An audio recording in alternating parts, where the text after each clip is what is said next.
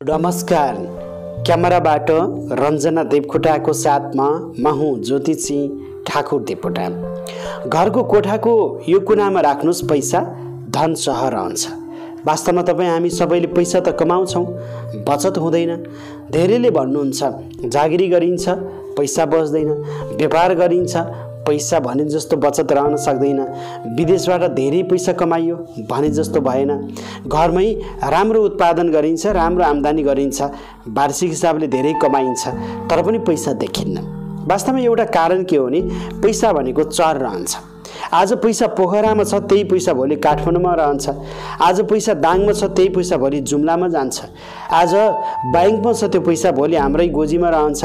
आज हरिबहादुरसँग छ पैसा त्यो पैसा भोलि श्यामबहादुरसँग जान्छ।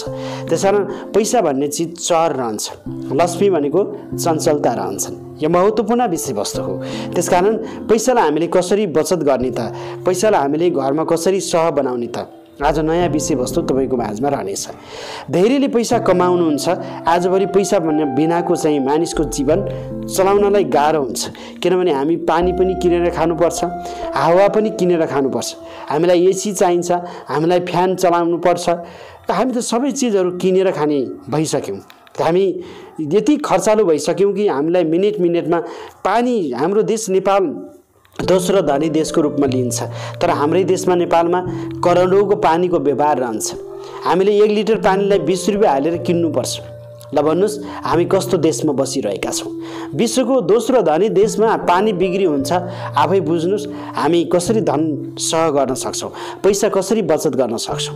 त्यसकारण हामीले वास्तुशास्त्र अनुसार कमाएको पैसालाई घरको कोठामा यदि बचत गर्न सकेनौँ भने हामीले जीवनमा प्रगति गर्न सक्दैनौँ।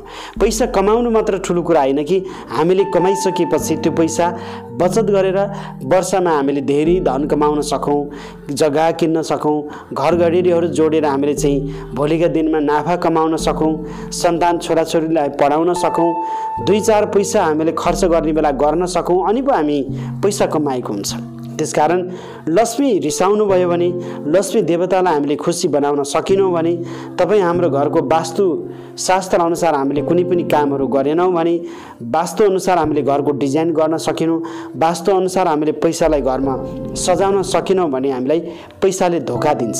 लक्ष्मी माताले हामीलाई धोका दिनुहुन्छ अनि हामी धनी बन्न सक्दैनौँ अनि हामीले बचत गर्न सक्दैनौँ। त्यसकारण तपाईँहरूको समस्या तपाईँहरूको जिज्ञासा अनुरूप मैले आज यो माझ तपाईँको माझमा भिडियो लिएर उपस्थित भएको छु। पक्कै पनि नआतिकन अन्त्यसम्म हेर्ने र सुन्ने प्रयास गर्नुभयो भने सम्पूर्ण ज्ञान र जानकारीहरू प्राप्त गर्न सक्नुहुन्छ र घरको कुन कुनामा हामीले पैसा राख्दाखेरि धन सह रहन्छ धन बचत रहन्छ भन्ने कुरा तपाईँले ज्ञानहरू प्राप्त गर्न सक्नुहुन्छ।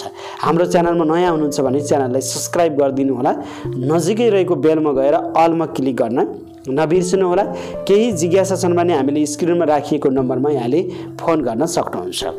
आदरणीय दर्शकहरू वास्तवमा हामी बुझ्नुपर्ने कुरा के छ भन्दाखेरि पूर्व दिशा हामीले भनेर भन्छौँ पूर्व दिशा पनि कुनै ग्रहको प्रतिनिधित्व रहन्छ पूर्व दिशा भनेको सूर्य ग्रहको बढी प्रतिनिधित्व रहन्छ। दक्षिण दिशाको कुरा गरौँ दक्षिण दिशालाई विशेष गरेर एमको दिशाको रूपमा मानिन्छ। त्यसकारण दक्षिण दिशा यम यमराजको दिशाको रूपमा मानिन्छ। दक्षिण दिशालाई त्यति राम्रो मानिएको छैन। त्यसै गरी घरको पश्चिम दिशा पश्चिम दिशा पनि त्यति धेरै उपयुक्त मानिएको छैन।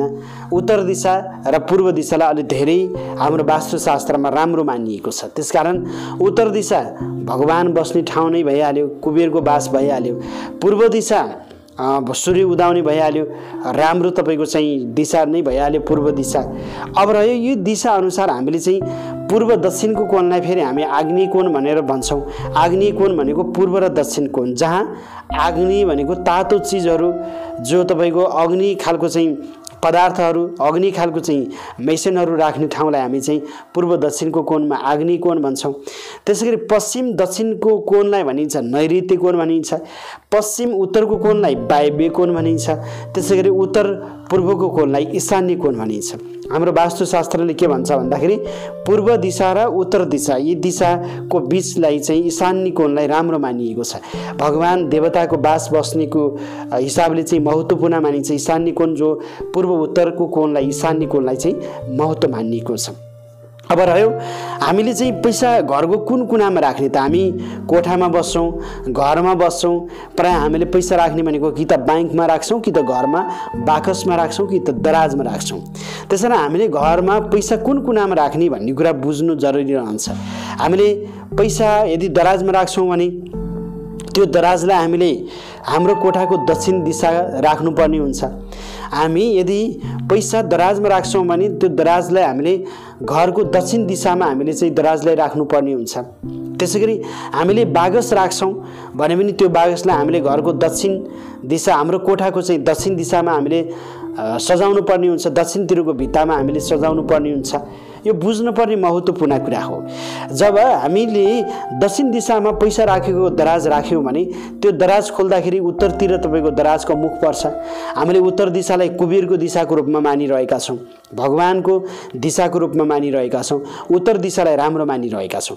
जब हामीले दक्षिणतिर दराज राख्यौँ र दक्षिणतिरको दराजको ढोका अथवा चाहिँ पल्ला हामीले खोल्दाखेरि उत्तरतिरबाट सिधा दृष्टि पर्छ कसको? कुबेरको।